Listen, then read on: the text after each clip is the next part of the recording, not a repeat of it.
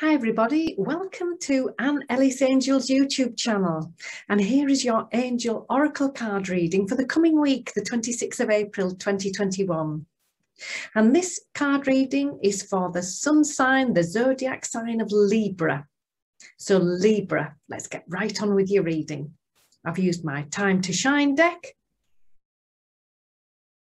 and we think of this as our angel homework for the week lovely things we can be mindful of to place into our week so we have a really positive and life enhancing week.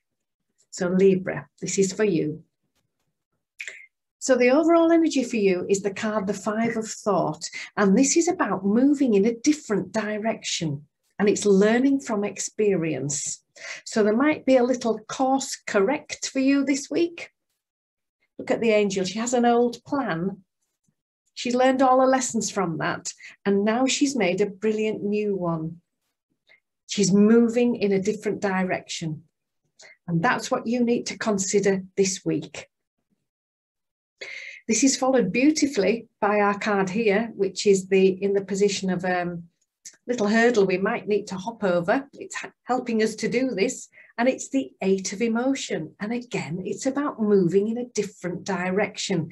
Look at the angel. She's got her back to us. She's walking away, like the old plan there, from what, what isn't working anymore. And she's following her sat nav.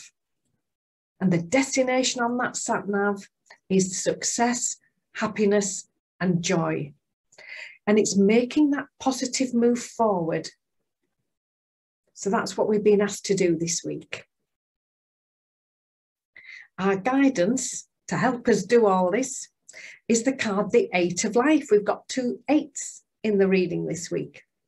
And this is all about trying something new. And it's also about paying particular attention to the small detail.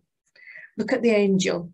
She's tried a new skill. She's baked a cake. She's made a really lovely one there but she's taking the time to put a cherry on the top, that tiny little detail. It'll make all the difference in the world. Crossing the T's, dotting the I's. So that's what we need to be mindful of. And to pull it all together, the outcome card is the one of thought. Now, this is about persistence, about keeping going, about enjoying brilliant new ideas, trying new ways to get to your goal.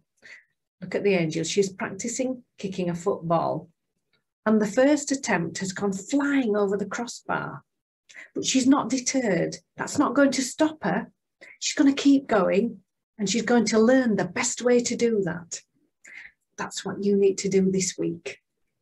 So, just to summarize, time to move in a new direction with a new plan, move forward towards something good. Make that positive move forward.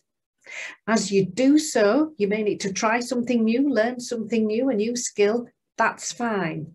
Go for it. Take care of the small details. Read fine print carefully.